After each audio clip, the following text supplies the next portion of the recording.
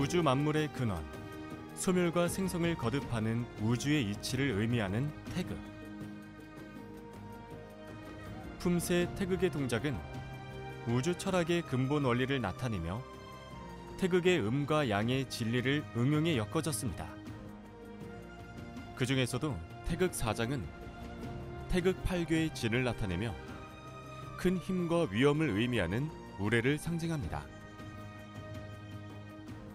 또한 태극 사장은 중국 과정으로 본격적으로 태권도의 기본을 익히는 단계로서 다양한 동작을 익히도록 구성된 품새입니다. 연속 발차기와 몸을 비트는 동작과 같이 신체의 균형 능력이 요구되는 동작들로 구성되어 있어 태극 사장을 수련함으로써 이동하며 신체의 균형을 바르게 유지할 수 있는 능력을 향상시킬 수 있습니다. 지금부터 태극 사장의 품새를 보시겠습니다.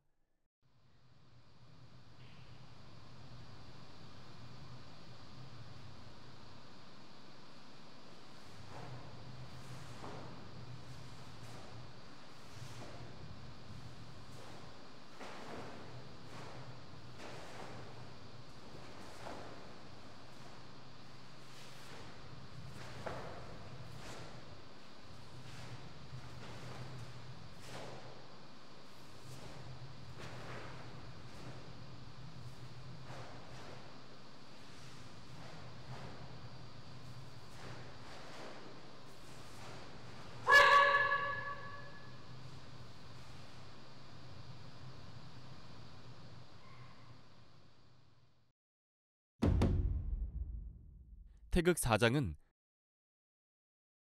손날 거들어 맞기, 편손끝 세워 찌르기, 제비품 안치기, 옆차기, 등 주먹 앞치기 이렇게 다섯 개의 핵심 동작이 있습니다. 지금부터 태극 사장의 핵심 동작들을 하나하나씩 살펴보겠습니다.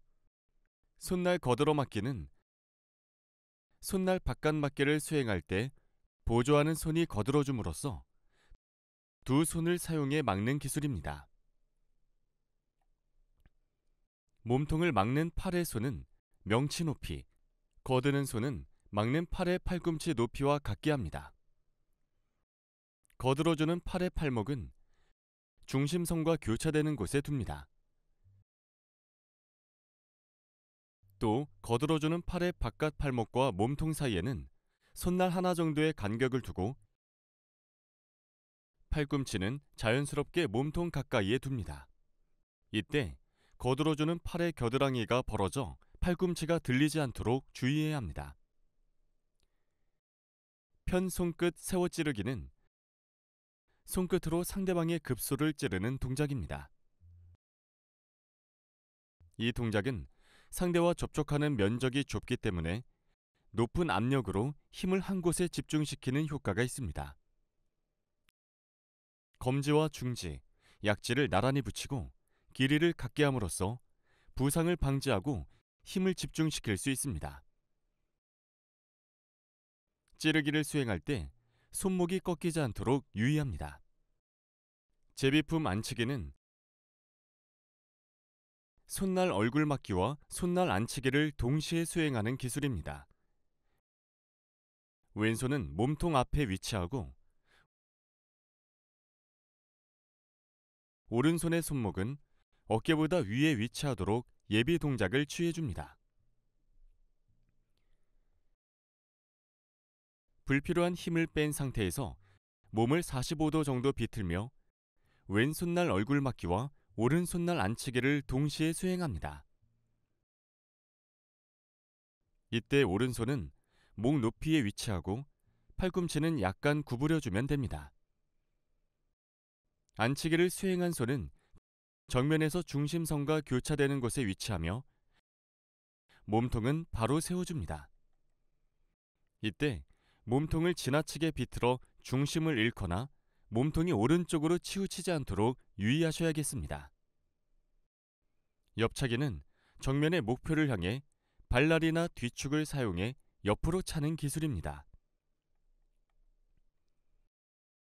차는 발은 버팀다리의 무릎보다 높게 들어서 허리 위로 올리며 무릎을 접은 후 골반을 틀며 일직선으로 뻗어찹니다. 이때 버팀다리의 뒤꿈치가 차는 방향을 향하도록 틀어주며 어깨와 고관절, 뒤꿈치가 일직선이 되도록 합니다. 버팀다리의 뒤꿈치는 차는 방향으로 미리 틀어지지 않도록 주의하셔야겠습니다. 이 동작의 모든 과정은 멈춤 없이 한 동작으로 이루어져야 합니다. 옆차기 기술을 연결해서 빠르게 보여드리겠습니다.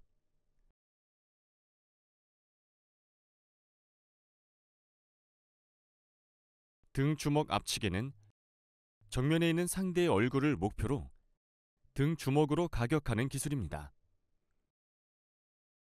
두 팔은 명치 높이에서 교차하며 치는 주먹이 보조하는 팔의 겨드랑이 아래를 지나 호를 그리며 진행합니다. 이때 등 주먹의 높이는 인중이며 정면에서 중심선 위치에 있어야 합니다. 치는 팔의 팔꿈치가 밖으로 향하지 않도록 주의해 주십시오. 이렇게 태극 4장의 다섯 개 핵심 동작을 알아봤습니다. 지금부터는 순서대로 동작을 연결해 단락별로 설명해 드리겠습니다. 태극 4장의 1단락은 왼손날 거들어 맞기, 오른편 손끝 세워 찌르기, 오른손날 거들어 맞기, 왼편 손끝 세워 찌르기로 이루어져 있습니다. 왼손날 거들어맞기에서 체중을 오른발로 옮기며 왼손은 바탕손 눌러맞기를 준비하고 그런 다음 오른발을 내디딜 때 왼손은 눌러맞고 오른손으로는 편손끝 세워 찌르기를 동시에 수행합니다. 찌르기 동작을 수행할 때 오른 팔꿈치는 왼손 등 위에 가볍게 닿도록 합니다. 태극 4장 1단락에서의 주의사항 다시 한번 살펴보겠습니다. 오른 앞구비에서 뒤로 돌아 디딜 때 오른발이 홀을 그리지 않도록 유의하셔야겠습니다. 그럼 이번에는 영상을 보시면서 1단락의 동작들을 자연스럽게 연결해 익혀보겠습니다.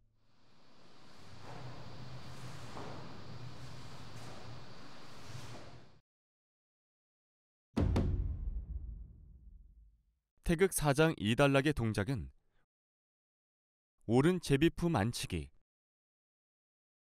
오른 앞차기와 왼 지르기, 왼 옆차기,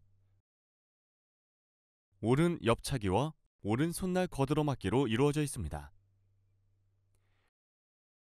왼 옆차기 후 찬발을 한 걸음 내딛고 오른 옆차기로 연결합니다. 오른 옆차기를 마친 후 무릎을 접으며 손날 거들어 맞기 예비 동작을 준비합니다. 그 다음 오른발을 딛는 동시에 손날 거들어 맞기를 수행합니다. 지금부터 함께 영상을 보시면서 천천히 이단락의 연결 동작을 함께 학습해 보겠습니다.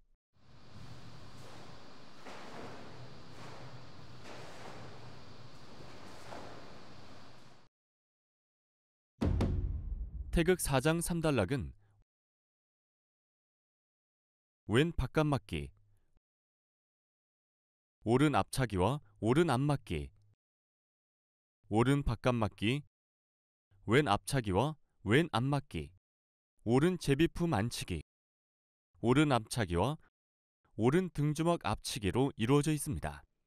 이전 동작에서 오른 뒷굽이 왼 바깥 맞기로 돌아 디딜 때는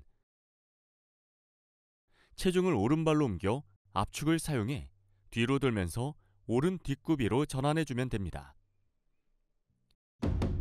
태극 4장 3단락에서의 주의사항 다시 한번 살펴보겠습니다. 안맞기 수행 시 상체를 무리하게 비틀지 않도록 유의합니다. 그렇다면 이제는 영상을 함께 보시면서 3단락 연결 동작을 학습해 보겠습니다.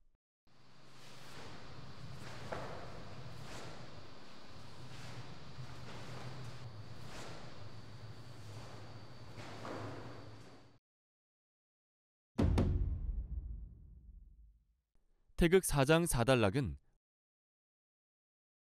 왼 안맞기, 오른 지르기, 오른 안맞기, 왼 지르기, 왼 안맞기와 두 번 지르기, 오른 안맞기와 두 번 지르기 동작으로 이루어져 있습니다. 오른 지르기 후 돌아 디딜 때에는 왼발로 체중을 이동하며 왼발 압축을 사용해 시계 방향으로 몸통을 회전시켜 줍니다. 오른팔은 안맞기 예비 동작을 취하고 돌아딛기를 마치며 오른 안맞기를 수행해 줍니다. 태극 4장 4단락에서의 주의사항 다시 한번 살펴보겠습니다. 안맞기에서 두번 지르기로 연속되는 세 동작은 빠르게 연결해 주는 것이 중요하다는 점 꼭 기억하시기 바랍니다. 그럼 이번에는 영상을 보시면서 천천히 4단락의 연결 동작을 함께 학습해 보겠습니다.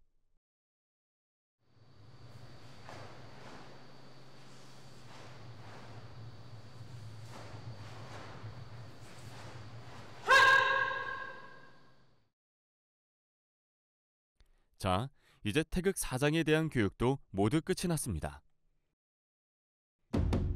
다시 한번 전체 동작을 보시면서 품새를 익혀보겠습니다.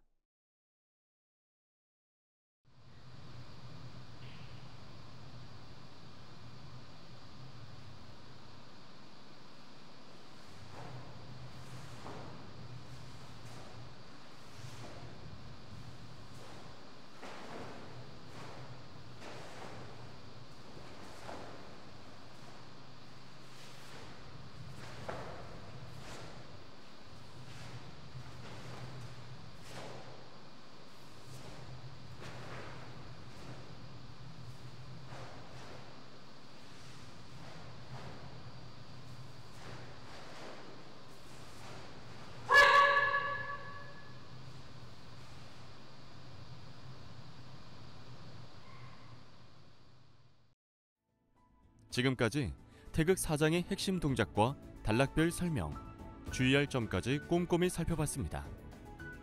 태권도 중급 과정으로의 진입을 축하드리면서 신체의 균형 능력 향상을 위해 수련을 게을리하지 않으시길 바랍니다. 그럼 태극 5장 영상에서 다시 뵙겠습니다. 고생 많으셨습니다.